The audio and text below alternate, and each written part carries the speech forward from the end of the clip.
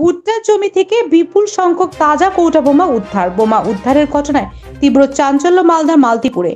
ঘটনাস্থলে বোমা squad team থেকে শুরু করে চাচল থানার পুলিশ। বৃহস্পতিবার মালদার চাচল দু নম্বর ব্লকের শান্তিপাড়া গ্রামের একটি ভুট্টার জমি থেকে দু ব্যাগ ভর্তি তাজা কৌটা বোমাগুলি উদ্ধার হয়। ঘটনার তদন্ত শুরু করেছে চাচল থানার পুলিশ। জানা যায়, এদিন দুপুরে মাঠে কৃষকেরা কাজে গেলে ওই ভুট্টার জমিতে দু ব্যাগ ভর্তি তাজা বোমা দেখতে পায়। এরপর খবর দেওয়া হয় চাচল থানায়।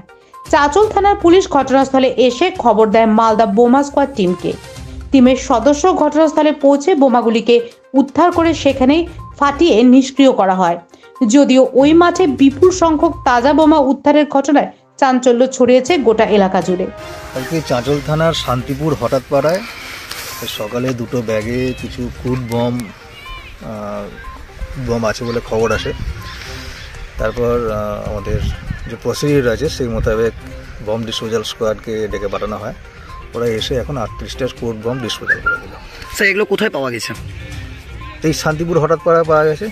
কোন জমিতে? কি- করে এগুলো এলো হ্যাঁ? কোন জমিতে পাওয়া গেছে? ভুট্টা খেতে। এই যে ভুট্টা খেতে পাওয়া গেছে আপনার এখানে যেখানে দাঁড়িয়ে রয়েছেন। তারপরে এটা কি করে আসা গেলো সেটা তদন্তের ব্যাপার। আমরা তো একটা স্পেসিফিক কেস স্টার্ট করা হবে। এই ঘটনায় কাউকে গ্রেপ্তার করা হয়েছে? না এখনও পর্যন্ত গ্রেপ্তার করা হয়নি। স্যার প্রজাতন্ত্র দিবসের আগে এরকম একটা ঘটনা প্রজাতন্ত্র দিবসের সঙ্গে কোনো সম্পর্ক নেই।